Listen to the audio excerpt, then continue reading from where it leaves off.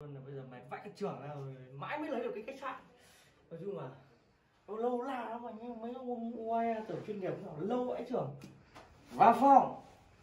Nhưng mà anh em nhé tôi book vào phòng này hơi đắt luôn. Không biết là nào Sợ, hai anh em tôi thì nó lại cứ bị vút cơ. Xin mời anh em vào đây. Oh yeah. Oh yeah. Rất tuyệt vời luôn. Em xin phép anh chuyển cái giường này. Đây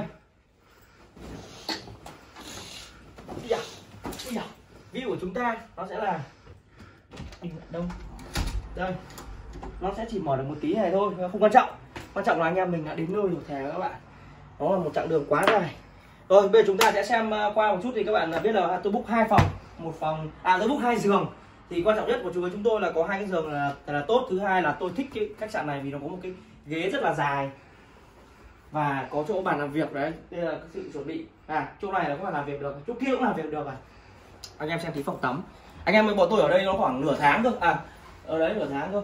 Thì chỗ này thì về cơ bản là nó là cái ờ, giống các khách sạn khác mà nó ờ, có tủ lạnh. À, đấy có tủ lạnh. Ô vãi nó khóa thứ hai là nó có cái tủ để anh em mình để đồ. Là tôi về và ông anh của tôi sẽ để đồ ở đây. Uh, khó bàn là Dubai thì nổi tiếng là khách sạn rất là đầy đủ tiện nghi. Đấy, tôi, tìm hiểu kỹ rồi. Rồi anh em vào đây phòng tắm. Rồi rất đơn giản nhẹ nhàng, tình cảm thôi.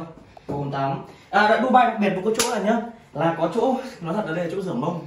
Tức là mình đi xong này, thì đây là cái chỗ chỗ rửa mông. Chỗ này nó đặc biệt anh em ạ.